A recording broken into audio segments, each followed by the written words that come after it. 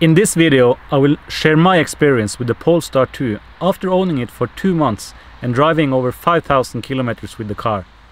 Has it been without issues and most important, am I happy with the car? Let's find out.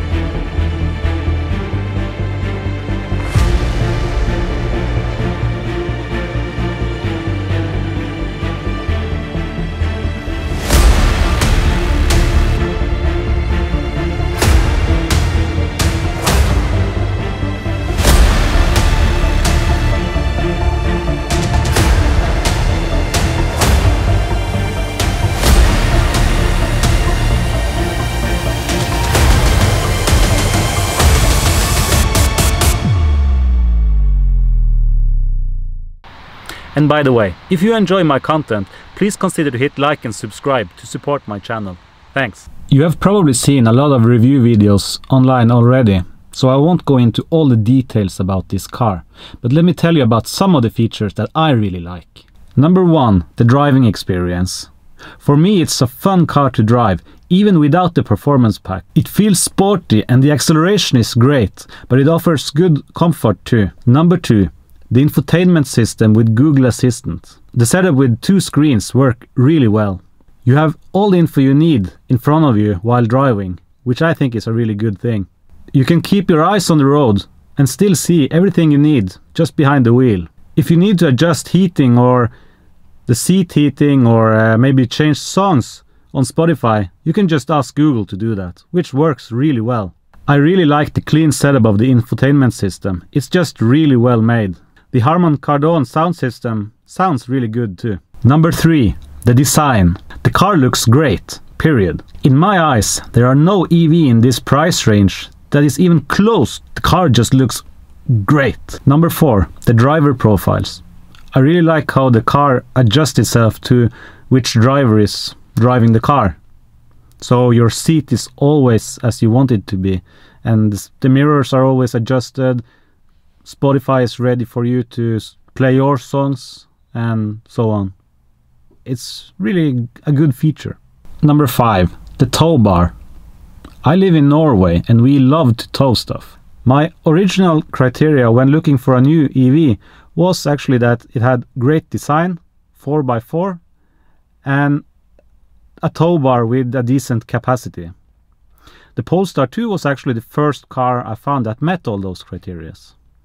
I am very happy with the car so far, but there has been some issues.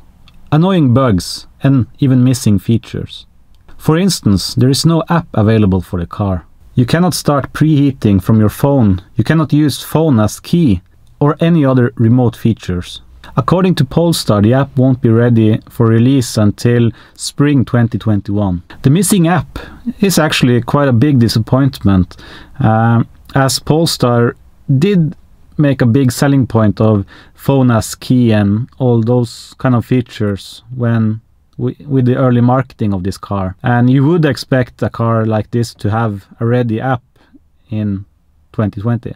When we reached about a thousand kilometers with the car, we had some issues. The AC broke down, also the ACC stopped working and Bluetooth driver profiles and some other features. I delivered the car to the repair shop uh, where it spent six days. Uh, we got a free of charge loaner Volvo in the meantime, and uh, I haven't had issues like that ever since. I also experienced some noises, like rattling noises when driving. This area behind me here can sometimes make a really annoying sound. The same goes for the area around the steering column. I really hope they will be able to fix it because these sounds are really, they can be really annoying and you don't want that in a new car. So this car is brand new with new software, I guess. And as always, with new software comes bugs. And this car is no exception. Um, one of the most annoying bugs that I've experienced is that the driver profiles doesn't al always work. So it's supposed to and this is kind of one of the main features for me. I really like it when it works, but it's really I hate it when it doesn't work. And so we are two drivers on this car and we have each our own key. So the way it works is that when I get into the car, if the seat is adjusted to the other driver's position, it will automatically change back to my position. And it's a great feature when it works, but it's super annoying when it doesn't work and I have to do all the manual adjustments and that's not good. It shouldn't work like that. It should just a feature like that should just work always. Another issue I've had is with 4G and in this car you really need your internet connection because features like Spotify, uh, Google Assistant relies on internet connection and it's important that it works. Over the two months I've owned this car, there has been a few days actually where there has been no internet connection. So we, I really hope they can fix this in a future software update or if it's on their infrastructure, I'm not sure. But we need a stable 4G in the car. Another issue, another bug I see is that you, when you set the car up to stop charging at 80%, it still charges to 100%. So that's another bug and I'm sure they will fix it in a future software update. This car has these pixel LED headlights which are really good and there's a feature where they should automatically dim when you meet traffic.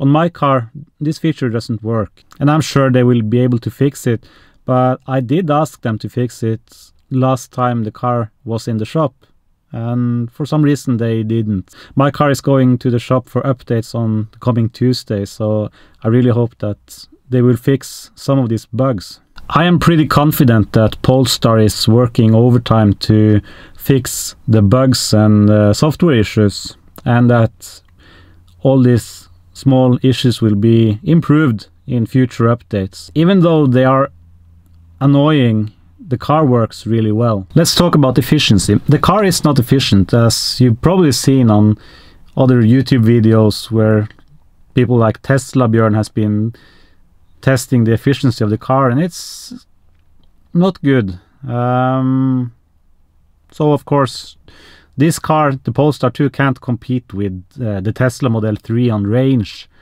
Uh, but as far as I'm concerned, this car is better in every other aspect. So I guess we have to compromise at some things. And unfortunately, range was it for this car. So to conclude, am I happy with the car? Oh yes, I'm really happy with the car. Any questions or comments about this car? Leave them below and I'll try to answer as good as I can. See you.